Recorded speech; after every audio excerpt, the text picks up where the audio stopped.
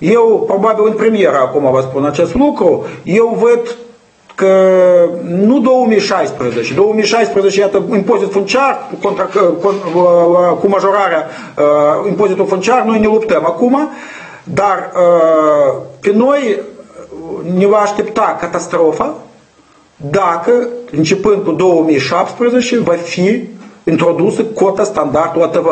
Și eu, din sursele demne de încredere, eu știu că politica bugetar fiscală pentru 2017 politică fiscală care se pregătește acum, se elaborează de către Ministerul Finanțelor, de către FISC, prevede introducerea cotei standarde de TVA 20% pentru agricultori. Iată aici eu pot să vă spun cu certitudine, este capacul, se pune capacul asupra producătorilor agricoli care legal, cinstit, lucrează și activează în, în sectorul agrar TVA 20%, noi și așa nu știu cum, cum vom ieși în anul 2016, dar TVA 2017 introdus. Asta lovitură de grație.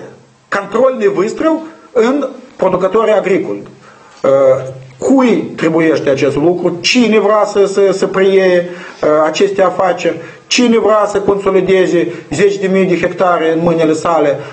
Acest răspuns urmează să, să această întrebare, întrebare urmează să răspundă cei de la guvernare. Dar cu părerea de rău, iată așa stau lucrurile. Pe 2016 problema principală ține de, în politica fiscală ține de impozit funciar, dar pentru 2017 ni se pregătește acest cadou care, care poate fi o lovitură foarte gravă pentru, pentru producătorii agricoli.